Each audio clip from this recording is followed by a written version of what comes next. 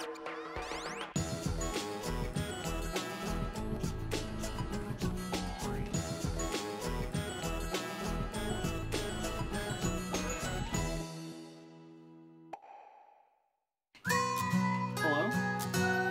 Oh.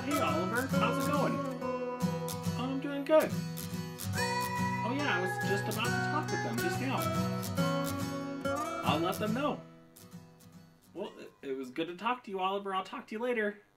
Bye. Hey, how are ya? It's good to see you. It's been such a long time since I saw you. It's been about like two weeks. Last week we didn't talk because we had General Conference. Did you listen to General Conference? I did. Oh, I love it. I love being able to hear the prophet talk, President Nelson, and the other apostles, and be able to listen to what they want to tell us. Oh, General Conference is the best. I hope you got to see it too. Well, you know, I was just talking to Oliver, and you know, he's not here right now. He's doing errands, and so uh, I haven't been able to see him. But you know, when I can't see Oliver, it's so great to be able to talk to him on the phone. Have you been not able to see some people recently? Like maybe maybe it's your grandparents or maybe other family or friends. It's kind of sad when we can't see them, huh? And we can't talk to them. And so it's really nice when we can pick up the telephone and talk to them on the phone or maybe do a video chat with them. It's nice to be able to talk with them and let them know how we're doing. And they like to hear how we're doing too. You know, it's interesting because Heavenly Father is somebody that we can't see right now. And He wants to hear from us too, and He'd like to talk with us as well. And there is a way that we can talk to Heavenly Father, and it's called prayer. Prayer is the way that we talk to our Heavenly Father, and we're able to talk with Him. So, I want to show you a picture. And now these are the these are some people in the Book of Mormon, and they are praying. But can you look in this picture? Tell me, how do you know that they're praying? Kind of what tells you in this picture that they are praying? Did you notice something? How about, did you see that they are folding their arms? Some of them fold their arms like this. Some of them fold their arms like this or like this. That's how you start to pray, by folding your arms, right? What is something else that you see that they're doing? How else do you know that they're praying? Do you see that some of them are bowing their head? Yeah, some are bowing the head, and, and even some are kneeling on the ground, right? Sometimes we can kneel when we pray, but always we fold our arms and bow our head. That is what we call being reverent. Another way of saying reverent is to show respect. So let me ask you something. If I'm talking to you and I'm going like this on my phone, is that very respectful? Does it really seem like I'm talking to you, or does it really kind of seem like I'm just on my phone? Yeah, it seems like I'm on my phone. It doesn't really seem like I'm listening, right? That's not very nice. Well, uh, what if what if I'm just like like looking over here and you're talking to me? Does it look like I'm listening? No, right? It doesn't seem like I'm listening at all. When we talk, we show respect when we when we look at each other, right? And we're not on our phone. Well, the same thing happens when we pray. When we fold our arms and we bow our head, we're showing respect to Heavenly Father. What we're doing is we're telling Him, I'm listening. I'm going to talk with you. I'm not going to be distracted by everything else. I'm going to just listen to you. That's why we do that. We show reverence when we pray. We show respect to Heavenly Father and show Him that we want to listen and we want to talk with Him.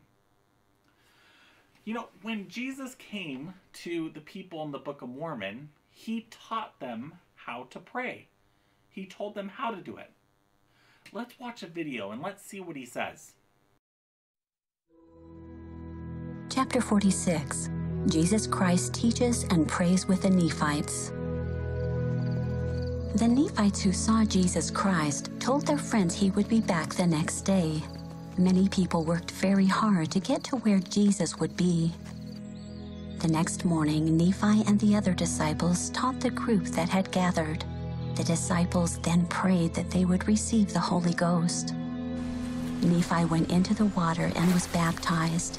Then he baptized the other disciples. After they were baptized, the disciples received the Holy Ghost. Fire seemed to surround them, and angels came down from heaven and ministered unto them. While the angels were with the disciples, Jesus came and stood among them. Christ told all the Nephites to kneel on the ground. He told his disciples to pray. While they were praying, Jesus went a little way off from the people and knelt down and prayed to Heavenly Father. Jesus thanked Heavenly Father for giving the Holy Ghost to his disciples. Then he asked for the Holy Ghost to be given to anyone who believed the disciples' words. Jesus blessed his disciples while they were praying. He smiled at them, and they became as white as his face and clothing. Jesus prayed again for his disciples. He was pleased with their great faith. Christ told the people to stop praying, but to keep praying in their hearts. Then he gave them the sacrament. No one had brought bread or wine, but the Savior provided it in a miraculous way.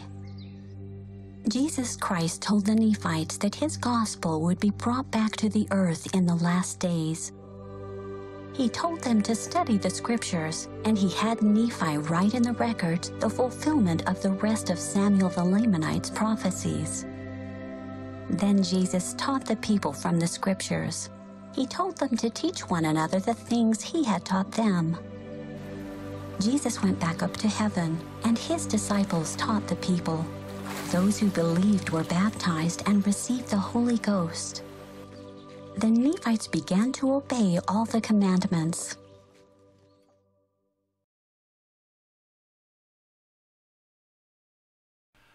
Did you see that Jesus prayed a lot with the people in the Book of Mormon when he came? And he taught them how to do it. Let's see if we can learn some things to show us how we should pray. So here's a picture that kind of helps us. I like to think of prayer like a sandwich. Now, every sandwich has two things that are always the same. Do you know what they are? The bread. Every sandwich has bread, right?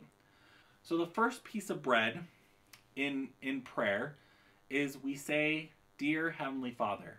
We start out by addressing Heavenly Father by telling him, "Hey, Heavenly Father, we want to talk with you."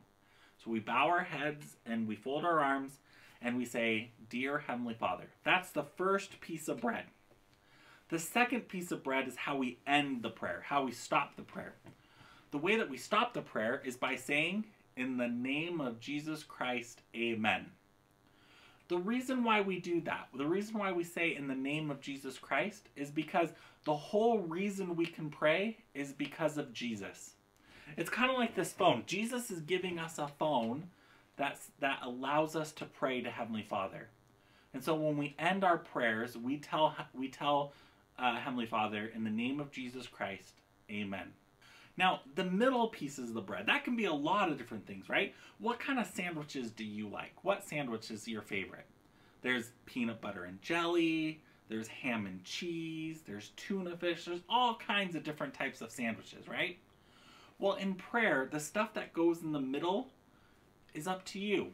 You get to decide what you tell Heavenly Father, and you can tell Him anything you want. You can tell Him about your day, you can tell Him about things that are going on, you can tell them the things that made you sad or that made you happy. You can tell Heavenly Father anything you want. There are two things that you can think about telling your Heavenly Father, though, that are good to put in, in your prayer sandwich. The first thing are things that you're thankful for. It's important to tell Heavenly Father why you're thankful for the things that He has given you. He's given us so many things. I like to tell Heavenly Father I'm thankful for nice weather, for sunny days, for the toys that I have, for my parents, for the food that I have.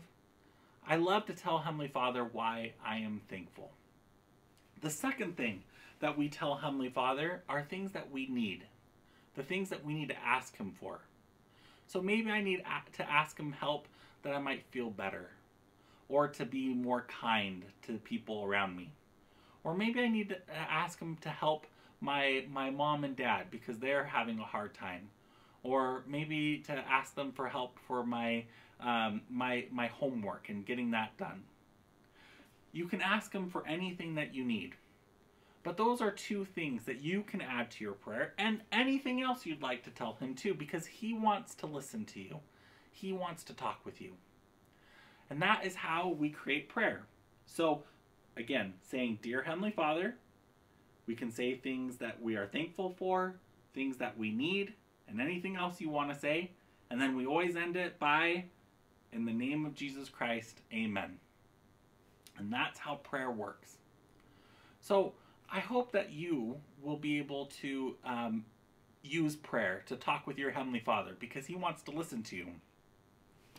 Could you do me some uh, do me a favor? Could you draw a picture of yourself praying and send it to me so Oliver can see it because I think he would like to know and see what it looks like to pray because he needs to learn too. And then would you ask your family if they would pray with you? Maybe you guys can all get together in the morning or in the in the nighttime and you guys can get together and you can all pray together. Will you ask your family if they will do that too?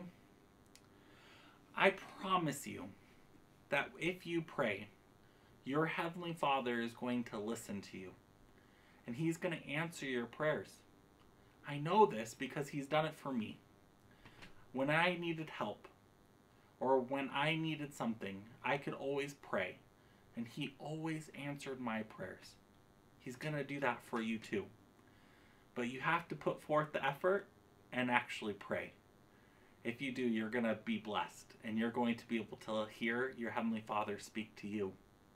And He'll tell you the things that you need to know. Well, I'm so glad that I was able to talk with you today, and I hope that I'll be able to see you guys again soon. But until then, I hope you have a good rest of your week. And I will be back next week to talk with you. I hope you have a good day. Bye.